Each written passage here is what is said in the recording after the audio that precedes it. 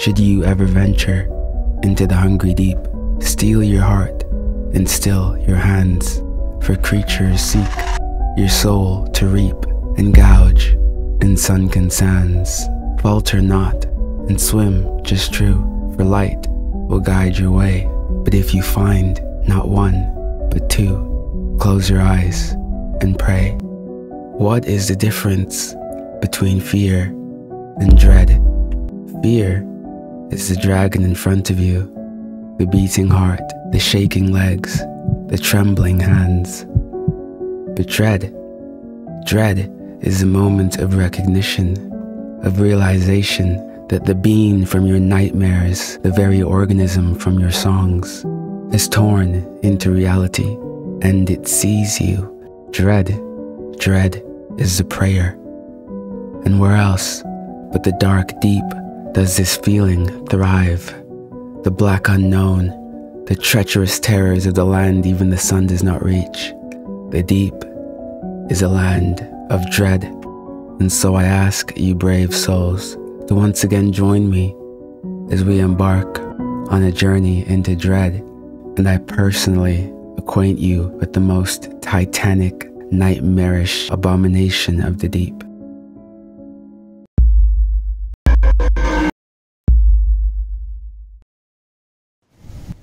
Imagine for a moment peace. You stare off into the waves, content. The town celebrates around you. It's the village's 60th anniversary, and they've pulled out all the stops. A beautiful party on the beach. Magic fireworks fly overhead. As you stare out towards the coast, there is something in the water. Your eyes go wide. It was like a foreign memory rooted itself into your brain. You grab your head and turn to, what, what, what's that? Everyone's whispering. And somebody else, you squint your eyes to get a closer look. And there it lies, a dead giant. You look up as the lady of the town stands on the giant's head. She smiles. The heavens have blessed us this day, she says as she regards you all. With this, our village will become the most popular land in all the realm, and we shall be wreathed in glory. The town cheers around you, and you smile. But how did you know that it would be here? That memory, some kind of foresight? A vision, you think? Well, there's nothing you can do about it for now. And that night, you sleep like a log. The next day, men and women gather around the giant's leg, watching it with awe. Elsa, your baker, walks up to you with a smile. Amazing, isn't it? She asks. You nod. It's beautiful. We're lucky to see it. She smiles and turns away. Oh, I'll drop off your bread later today, she says. Just wanted to take one last look at the ring. What? He turn to her. Elsa. She stops. The what? The ring. The ring that washed up on shore. What? El Elsa, that's a giant, not a ring. No, she says. It's clearly a great big ring with a green gemstone. You walk up to the giant's leg and grab its pinky. What is it I'm holding then? The ring band? She looks at you strangely. Maria, are you, are you well? Maybe rest a bit. You've been working hard. You stare at her. Ah, I see. That's funny. You finally laugh. She frowns and then turns away. Some night later, you watch the giant from your balcony, stunning as always, in a morbid way. After all, what could have died to leave behind a remnant so majestic? Oi! You turn to see your butcher, who smiles at you from below and looks up at your balcony. Eli, you shout, you best stop wasting time and propose to Elsa already. She's so mad for marriage that she's seeing things in the mist. Eli laughs. Soon, soon, he replies. I'm off to see that great big whale, of course. He walks off, and you nod to yourself. All right, this, this is strange. That night, you head for the town archive and fling open the doors. The usual clerk is absent, and so you barge into the lower library and start flinging books off their shelves. Shifting fish, changing creature, giant from the water. You rush through pages and pages of text from adventurers who claim to have discovered something similar, but they're all liars and cowards, and it's never quite right. Nothing quite right. You look through more texts. The mirror whale, the dreadfin, the silverwing. No, no, no, no, no, you stop. And turn to see the book you've just thrown to the ground. It's barren, save for two things. The title, which reads, There is something in the water, and the author, Maria Vissel, yourself. The next day, the village gathers around the giant leg, ring, fish, whatever it is, and the town lady smiles as she stands on it. Today, she shouts. We start carving. The townspeople cheer, but you clear your throat and rise to your feet. They all turn awkwardly to meet your eyes. I think we should reconsider touching this thing. The town lady frowns. Maria, you can't be serious. I am, you reply. You point to a man nearby. Christoph, when you look at this thing, what do you see? A giant star, he says. Elsa, what of you? A great big ring, she replies. Is that not strange? For each of us to see different things when we look. You gaze around at them, expecting shock. We know, the town lady says. It shows everyone something they'd want to see. Surely it's descended from the heavens. You stop. Are you mad? This is no gift. Something is doing this. I found a peculiar book in the archive. You take it out. A book written by myself, which I never wrote. There is but one page, which reads, There is something in the water. This past week since this creature's come, something's been off. Don't you all see that? Are you alright, Maria? The giant crown is only washed on shore today. Your heart drops. Today, today, it's been four days. You turn to your fellow town members, who all look at you like you're insane. Maria, they all murmur, the toad came today, the figurine came today, the rock came today. A fear starts to settle into your belly as you turn to the water, still calm, still tranquil, peaceful. But there is something there. You're sure of it. Your mind turns. What is happening? What sort of creature is doing this? You recall that moment a few days ago when it felt like a memory was forced into your head. When. When did you remember? You look at the townspeople, who all look at you like you're a mad woman, and you run off into the distance toward the water.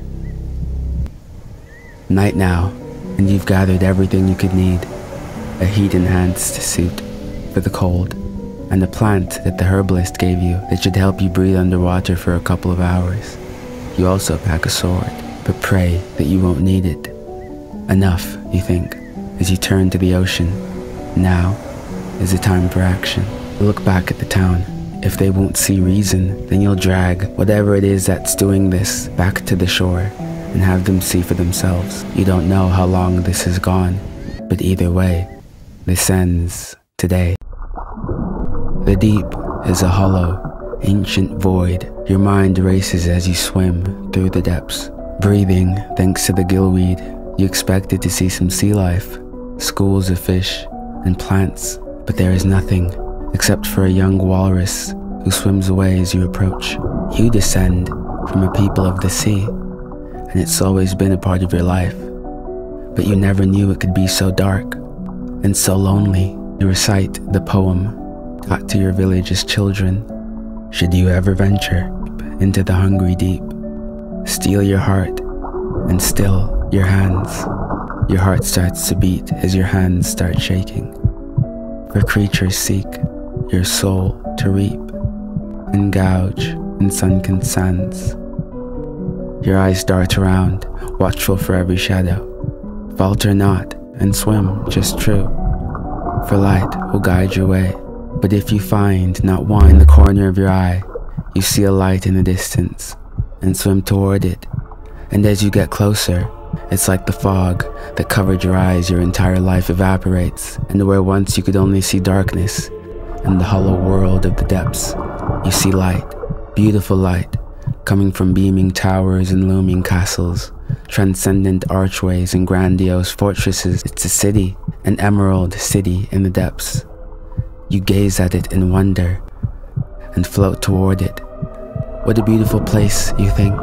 How amazing it would be to live here, to have a family here, to stay here forever. You float even closer. But as you take in the stellar city of the dark, a patch in the corner of your mind shoots alarm. On the shore, there exists a creature that can change when a different person looks at it. If that's true, then what if? Then maybe then the city vanishes, and in front of you lie two glowing eyes that belong to a colossal serpent the length of the world, with fangs the height of city walls and scales like mountains. Your mind physically cannot comprehend its sheer mass, as if your brain rejects the idea that a creature of this size can exist. It regards you, it sees you, and your mind vibrates as if about to implode. You almost laugh as the madness descends upon you. How foolish to think that you had any chance at escape or to kill this creature. The moment the creature's puppet appeared on shore, however many years ago that was, you were all stripped of life. It's toying with you, and it has been for a long time now. You laugh. The ring, the eye, the fish, the city. It is beyond you. An elder god. It looks down at you and shows its teeth in a cheeky grin. There have been moments in your short life Lonely nights when you wondered if the darkness could smile back at you, or if it's simply your imagination playing its tricks. But now, you realize that it can. How many times, you wonder, have you come here and tried to kill it, and it sends you back, and gives you memories to help you try and escape the loop, all to see if you could. It's all entertainment. A light shines from the creature's eyes, and before it all goes dark, a memory pierces into your mind, sharp and foreign. There is something in the water.